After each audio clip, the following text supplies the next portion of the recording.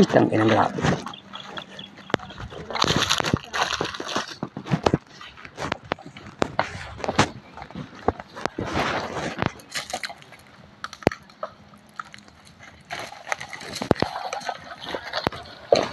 Grabe ang sipon, no?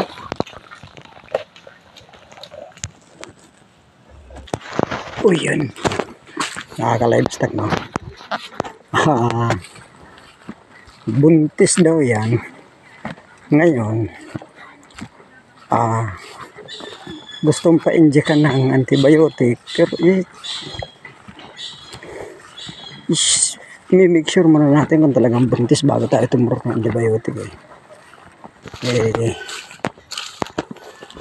mga dairy cattle to, eh.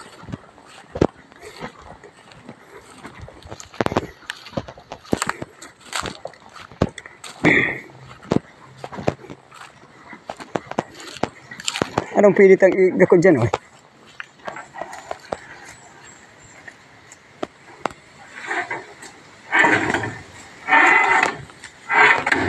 Piga-arog lang yan kaya?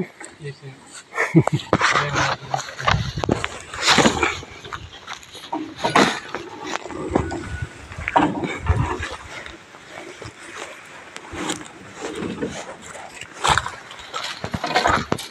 Grabe ang garapata. Ay, si auntie mo.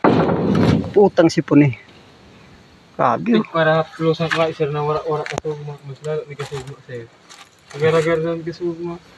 Dahil man yan. Dahil man yan nagaganda na. Sige, hurulog siya na kaya. Yes sir, lang sir nang laman ng iba.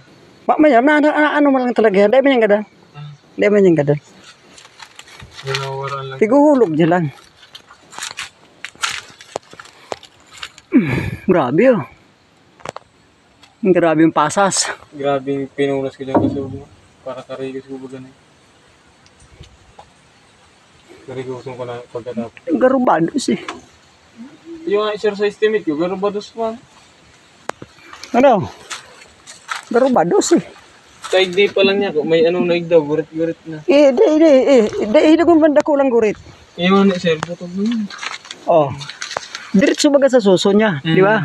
Nag, Tapos diretso yung sa inutan oh. Dama kan sa rumah itu dede nang gada dede nang gada kula. Ah, dahil nagdadakula. Kaya dahil bados. Eh, Ayun.